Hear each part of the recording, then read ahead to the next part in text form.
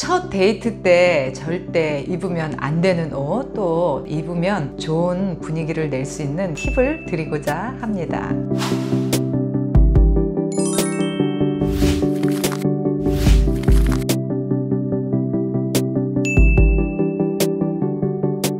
안녕하세요 리즈입니다. 우리 중년에 연애하시는 분들은 특히 이 연애 감각, 연애 세포를 오랜만에 일깨워서 남자와 첫 데이트를 할 때 뭘 입어야 되는지 도대체 감을 찾지 못해서 헤매시는 분들이 많이 있으실 거예요. 특히 첫 데이트 같은 경우에는 어떤 감정으로 준비를 해야 되냐 라고 물으신다면 내가 이 사람과 연인으로서 발전할 수 있나 없나를 시험해보는 자리라고 생각을 하시면 돼요. 나도 그 사람에게 매력적인 여자로 보여 보여야 되고 그 남자도 역시 나에게 믿음을 주는 괜찮은 남자로 보여질 수 있는지 그거를 서로 자세히 살피고 관찰하는 시간이라고 보시면 돼요. 물론 그렇게 첫 데이트를 하기까지 분명히 썸 단계를 거치고 어떤 사람인지 알아가기 위한 그런 과정을 거쳤을 겁니다. 그래서 이왕이면 첫 데이트를 할 때 어떻게 하고 나가면 호감을 주는 여자가 될 수 있는지 우리가 전략적으로 짜보도록 할게요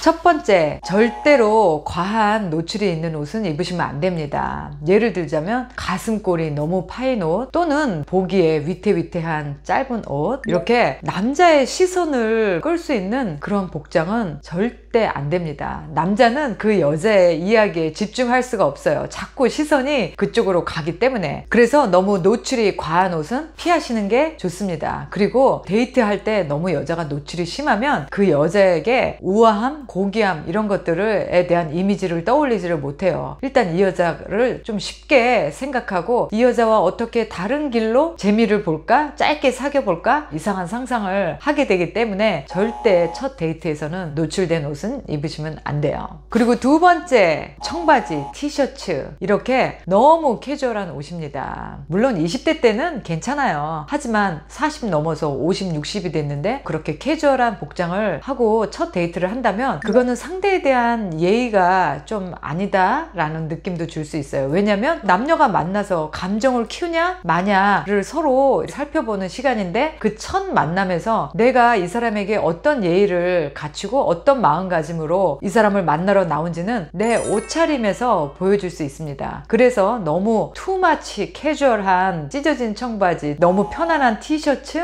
운동화는 삼가해 주시기를 바래요. 그리고 세 번째 또 피해야 될 옷은 남성스러워 보이는 옷이에요. 예를 들면 leather 자켓 뭐 오토바이 탈 때 입을 만한 그런 자켓이라든지 아니면 군인을 연상시키는 밀리터리 룩이라든지 아빠 거 입고 나온 것 같은 그런 오버 자켓 또는 뭐 팬츠 여성성보다는 남성성이 더 많이 보이는 남자로 느껴지는 그런 패션은 남자들에게 호감을 받기가 어려워요. 남자들은 여성스러운 여자를 좋아하거든요. 그래서 패션, 유행 다 좋지만 첫 데이트 때는 좀 더 여성스러운 옷을 입으시기를 추천드려요. 그리고 네 번째 너무 높은 하이힐은 첫 데이트 때 좋지 않습니다. 부담스러워요. 본인도 부담스럽고 보는 상대도 부담스럽습니다. 20대 같으면 괜찮을 수 있어요. 근데 중년에 누굴 만나서 데이트하는데 너무 높은 하이힐을 신었다? 힘듭니다. 보는 사람도. 그래서 약간 굽이 있는 그 정도 힐. 그리고 또 하이힐에 맞는 의상을 입어야 되는 것도 불편하게 보여질 수 있기 때문에 첫 데이트 때는 높은 하이힐은 피하셨으면 좋겠어요 그리고 다섯 번째는 과하게 fashionable한 옷입니다. 예를 들자면 치렁치렁한 밍크 코트를 입고 나간다든지 아니면 너무 반짝이가 많이 달린 그런 옷을 입고 나간다면 주변의 시선도 굉장히 불편할 뿐더러 같이 앉아있는 남자도 이 여자는 왠지 자기 멋을 부리는데 모든 시간과 에너지를 다 쓸 것 같다라는 그런 생각을 하게 만들 수 있어요. 그래서 적당히 부담 없는 옷을 입으셔야 돼요. 너무 과도한 의상은 피하시기를 바래요. 그리고 여섯 번째 사치스러워 보이는 옷입니다. 명품으로 머리부터 발끝까지 그 여자가 치장을 했다면 남자들은 어떤 생각을 할까요? 아 이 여자 관리비가 많이 들어갈 것 같다. 이런 생각 하겠죠? 그리고 이 여자는 도대체 돈이 어디 있어서 머리부터 발끝까지 명품으로 치장을 했을까? 오로지 자기를 치장하는 것 외에는 관심이 없는 여자로 보이고요. 또 남자들이 아무리 자신들이 돈이 많아도 사치스러워 보이는 여자를 사랑스럽게 바라볼 사람은 사람은 없습니다. 그래서 첫 데이트부터 너무 로고가 제대로 보이는 그런 명품백을 들고 나가는 거는 마이너스가 될 수 있어요. 이렇게 로고가 잘 안 보이는 내가 정말 좋아하는 그런 좀 수수해 보이는 그러한 옷차림을 입고 나가시는 게 좋은 이미지를 줄 수 있어요. 그리고 일곱 번째는 너무 과한 화장과 향수입니다. 적당히 남자들이 봤을 때 수수해 보이면서 여성스러워 보이는 그런 화장과 살짝 향기를 품을 수 있는 정도의 향수가 좋겠죠. 근데 어떤 여성분들은 정말 화장을 너무너무 두껍게 하고 색조 화장을 너무 진하게 해서 도대체 저 여자의 진짜 맨 얼굴은 어떨까 상상하게 만들겠죠. 그래서 너무 진한 화장 그리고 너무 진한 향수는 오히려 역효과를 불러일으킬 수 있기 때문에 첫 데이트 때는 자제를 해주시기를 바래요. 그런 여자들은 이흥 주점 이런 데 가서도 얼마든지 만날 수 있기 때문에 남자들은 오히려 내 미래를 생각하는 여자를 만날 때 수수하고 단아하고 우아한 여자를 더 좋아해요. 그리고 여덟 번째 몸매가 전혀 드러나지 않는 통짜의 옷을 입으시는 걸 저는 피하시라고 말씀을 드리고 싶어요. 여자는 남자와 다르게 들어갈 때 들어가고 나올 때 나오는 그런 여성만의 실루엣이 있어요. 이 실루엣이 잘 돋보이는 옷을 입으셔야지 어디가 허리인지 어디가 가슴인지 어디가 엉덩이인지 보이지 않는 그런 통짜 옷을 입으시는 건 절대로 매력적으로 보이지 않습니다. 편안한 것도 좋지만 적당히 여 자로서의 그런 몸매가 살릴 수 있는 약간의 실루엣이 있는 그런 옷을 입으셨으면 좋겠어요. 이렇게 8가지 절대 입으면 안 되는 옷을 말씀드렸고요. 그러면 어떤 옷을 입어야 되냐? 도대체 어떻게 하고 나가야 남자의 호감을 얻고 또 매력적인 여자로 보일 수 있느냐? 이런 옷을 입으시면 좋아요.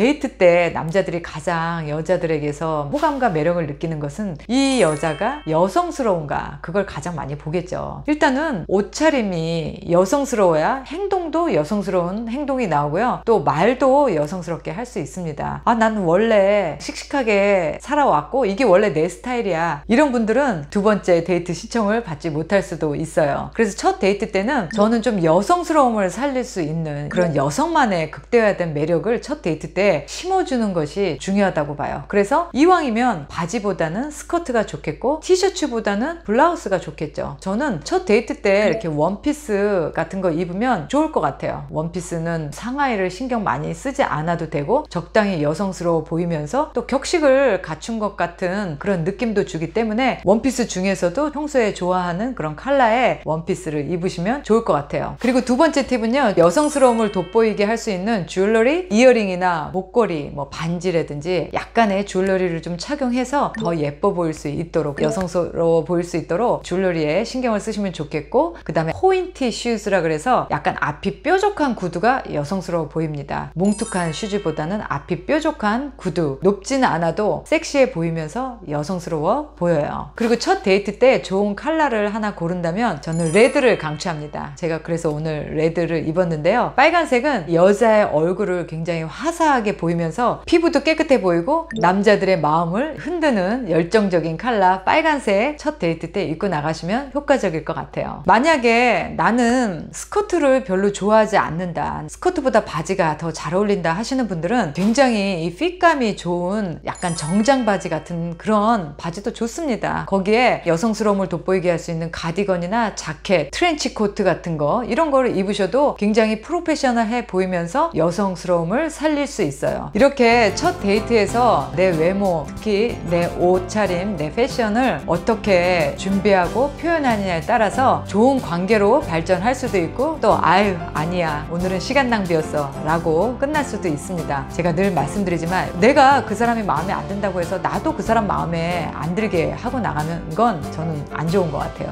그래서 나는 늘 누군가에게 좋은 이미지 또 좋은 호감을 주는 그런 매력적인 사람이 되는 게 가장 중요합니다. 그러면 어떻게 해야 내 매력을 최대한 잘 보여줄 수 있고 또 돋보이게 할 수 있는지 여러분들의 패션, 그 다음에 헤어, 구두, 화장, 스타일 이런 것들을 한번 점검을 해보셔서 반드시 내 외모가 남자에게 잘 보이기 위한 외모가 아니라 좀 더 우아하고 세련되고 멋진 여성으로 보임으로써 좀 더 여자로서 자신감을 얻을 수 있다면 더더욱 좋겠죠. 절대 편한 옷 그리고 신경 안 쓴 옷 이런 거는 안 됩니다. 그러면 오늘 영상 여러분들에게 도움 되셨길 바 라고요. 오늘도 행복한 하루, 즐거운 하루 보내시길 바래요.